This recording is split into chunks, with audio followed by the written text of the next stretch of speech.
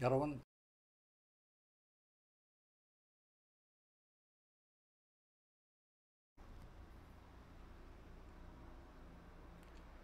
안녕하세요.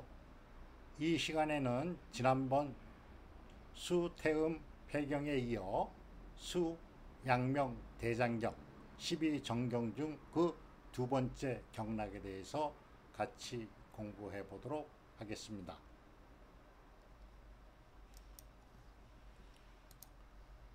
수 양명 대장경은 좌우 20개 경열이 소속되어 있으며 전도를 주관하는 음, 대장이 되겠습니다.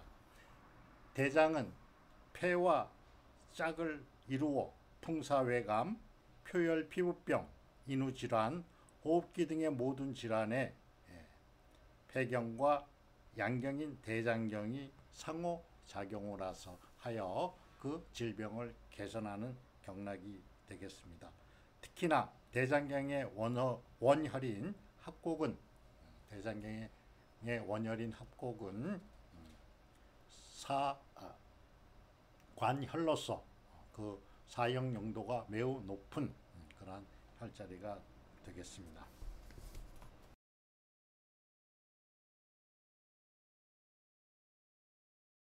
둘째 손가락 손톱 안쪽 모서리 0.1촌에서 시작한 수양명 대장경은 팔 오른쪽 왼쪽 팔 바깥쪽을 몸쪽으로 흘러내려서 어깨를 통해 목을 통해서 입술 그리고 윗 입술 중앙에 수구혈을 지나 반대편인 영양까지 흐르는 음, 경락이 되겠습니다. 주요 병증으로는 엿 목이 엿목이 붓고 목안이 아프며 이빨 치통이 있을 수가 있다. 눈이 누렇고 입이 마르며 코피가 나거나 목이 잠기고 어깨 팔 앞 팔뚝이 아프며 손가락이 아파 잘 움직이지 못하기도 합니다. 이러한 것은 대장과 관련된 질환이라고 할수 있으며 대장의 병증으로서는 눈이 흐르, 흐리거나 누렇고 입이 마르며 콧물이 많이 흐르거나 때로는 코피가 터지기도 합니다. 대장과 관련된 질환이나 설사, 변비, 장명, 장에서 소리가 나는 그런 증상이 되겠죠.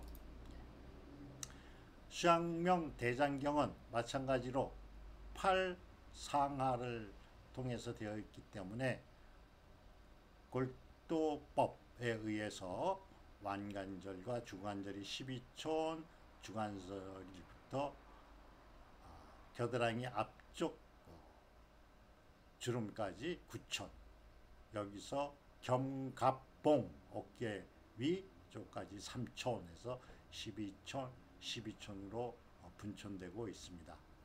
그림에서 보는 것과 같이 소상에 시작되어 자 팔은 팔을 들어서 어, 경락의 흐름을 생각한다 그랬죠.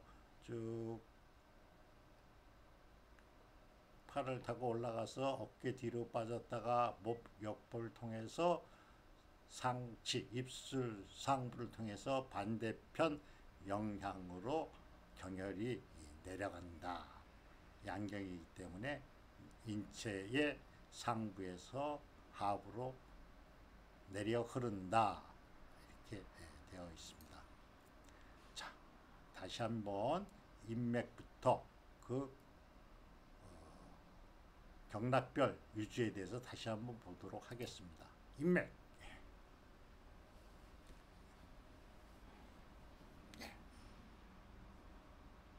우리 몸의 전면부를 상행하여서 예, 중환을 지나 예, 전중 예, 승장까지. 그 다음 동맥은 장강에서 시작되어 몸의 뒷부분을 요추, 척추, 극돌기를 통해서 어, 몸의 상부로 올라갑니다.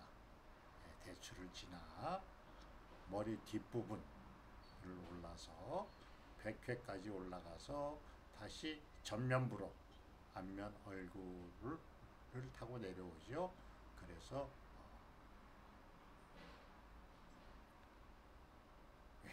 폐경이 중부에서 시작되어 팔 안쪽으로 올라가는 그림입니다. 경락이 흘러서 첫 번째 손가락 손톱 안쪽 모서리에 소상에서 끝이 나죠. 대장경은 두 번째 손톱 모서리 안쪽에서 상향에서 하향에서 몸쪽으로 지금 내려가고 있습니다. 곡지를 지나 예.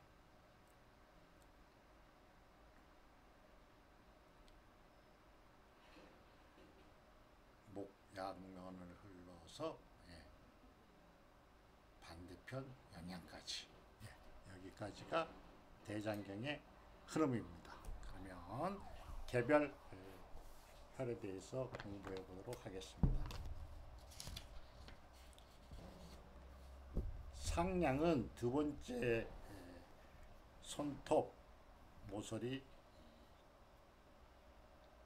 안쪽 0.1촌에 되어 있, 위치를 하고 이농이나 이농 어, 귀가 안 들리는 거죠. 이명은 귀에 소리가 나는 거죠.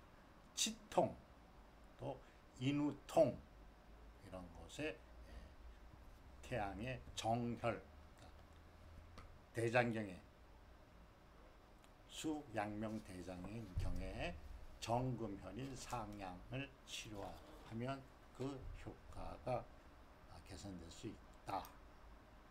이간. 두 번째 손가락 천말이 앞쪽 모서리 오목한 곳,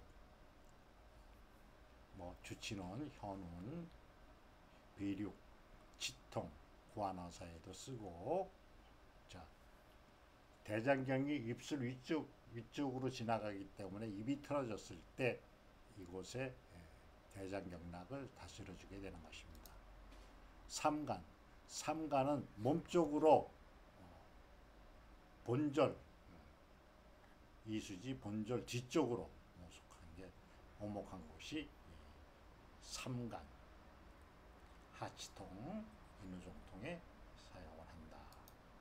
그 다음 합곡은 음, 대단히 많이 쓰는 그런 혈자리인데요. 두 번째 가운데 뼈, 손뼈, 가운데 손뼈. 그래서 이 중수골 중간 이게 이 중수골인데요. 가운데 뼈와 살이 만나는 그 부분에 검지 지두로 살짝 눌러보면 움푹 들어가는 곳이 있습니다. 움푹 들어가는 곳이 있는데 그곳이 합곡 우리 몸에 기를 통하게 하는 곳이다. 되어 있습니다. 두통, 비륙, 이농, 치통, 대장경이 치통에 좋다는 것을 알 수가 있죠. 네. 양계 혈자리. 여러분들이 엄지 손가락을 자 최고야 하고 올릴 때 이 손가락과 팔이 만나는 곳 거기 인대가 서서 오목하게 들어가는 곳이 있습니다. 이것이 양계 양의 계곡 이렇게 되어 있죠. 양계 엄지 및 오목한 곳 두통이나 안구 충혈 눈에 충혈이 됐을 때 이농 치통 이런데 사용한다. 양계 물론 손목 터널 중후군 손목 주변이 아플 때 근육이 인대가 굳어 있을 때에도 이것을 사용하게 되겠습니다. 편력은 낙혈로 양계와 곡지를 손목 가로주름, 주름과 주관절 가로주름을 몇 촌이요? 12촌으로 본다 그랬죠. 그래서 양계 곡지의 일직선에서 3촌 상에 있다. 호피를 치료하는데 비류 예, 유효하다. 올류 예, 거기서 또 2촌이 올라가죠. 12촌 중에 예, 양계와 곡지의 12촌 중에 상 5촌 그것을 어, 대장경의 극혈로 온류라는 혈자리가 있습니다. 두통, 안면의 부종, 그러니까 얼굴이 부었을 때 인후 종통에 사용한다. 네. 하령. 자, 곡지와 양계 일직선 12촌인데 곡지하 4촌이 하렴이다. 주관절 팔통증, 주관절 팔통증에 유효하다. 상념, 하렴, 상념, 어, 곡지하 삼촌에 상념이 있습니다. 상지 불수, 팔을 잘 들지 못할 경우 이곳에 자침을 하면 되겠습니다.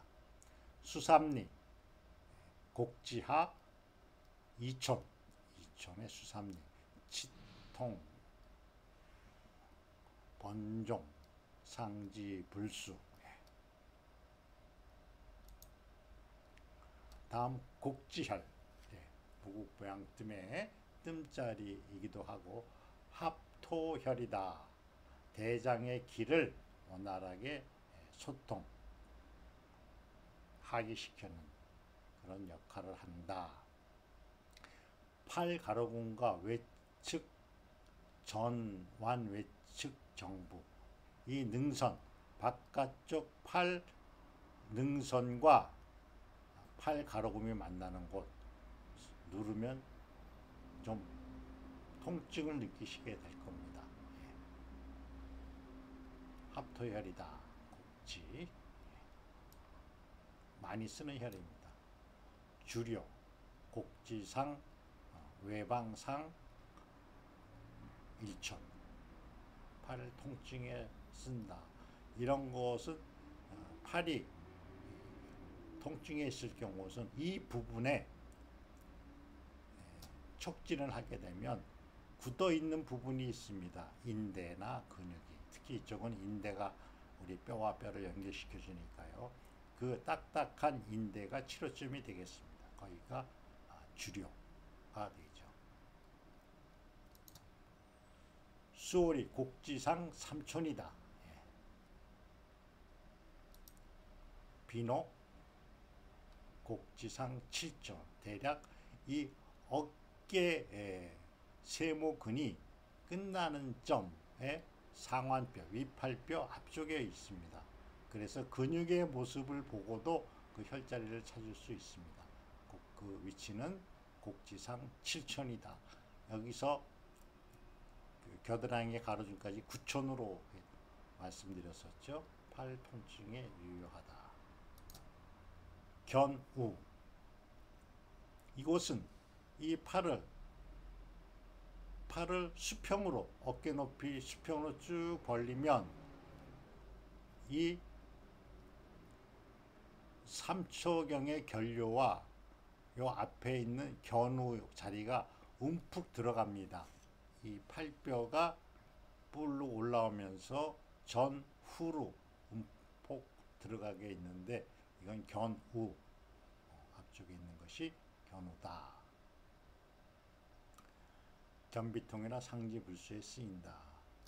그 다음 피부병에는 이곳에 견우의 호침을 쓰므로 해서 우리 폐 경락이 피모를 관리한다고 했는데 피부병이 있을 때 호침으로 이 견우를 자침을 하면 피부병 효과가 있고 때로는 팔을 뒤쪽으로 견갑골 쪽으로 잘 안 올라가시는 분들 그게 이제 팔이 굳어서 상지 불수 들지를 못하는 경우인데요.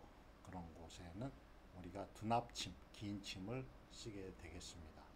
견우, 거골 이것은 엎드려서 혈자리가 잡혀지는데요. 쇄골 빗장뼈하고 이 견갑골 사이가 삼각형으로 움푹 들어가 있는 곳이 있습니다.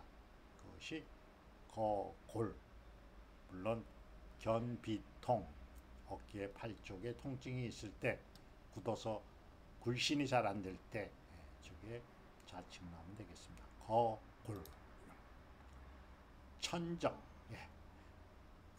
이쪽에 있는 그 혈자리들이 목에 있는 혈자리들이 몇 가지 있는데 그냥 천정이 있다 이렇게 알아두시면 됩니다. 여기가 이렇게 보면 근육이 바깥 모습이 이렇게 삼각형이 돼 있어요. 삼각형이 돼 있다는 것은 뭐죠? 정, 솥밭 정자거든요. 그 솥을 걸어놓는 걸개가 다리가 세 개다. 솥발의 다리가 세 개다. 그래야 솥이 흔들리지가 않습니다. 그래서 솥밭 정자 이쪽 삼각 근육이 이렇게 이렇게 삼각형이 돼 있다. 거기 있는 것이 천정이다. 이렇게 알아두셔도 되겠습니다. 예. 부돌, 천정 위에 부돌. 목에 있는 혈자리는 잘 사용하지 않습니다. 예. 다음 화료. 화료는 인중,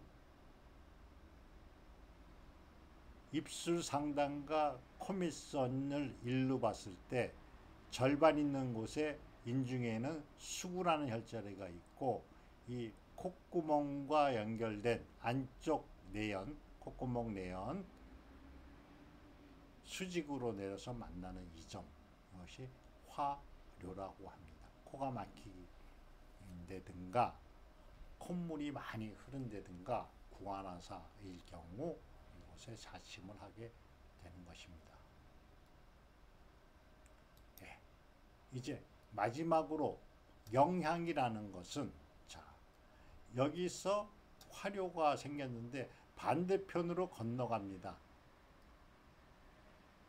유일하게 경락 중에서 좌우가 바뀌어서 흐르는 것이 대장경, 수양명 대장경이다.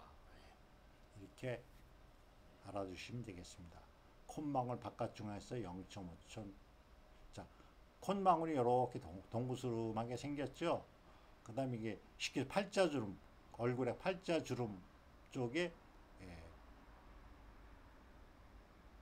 그 다음 이 콧망울의 2분의 1 중간 지점하고 이 팔자주름이 교차하는 곳에 예, 영향이라는 혈자리가 있습니다. 네. 이상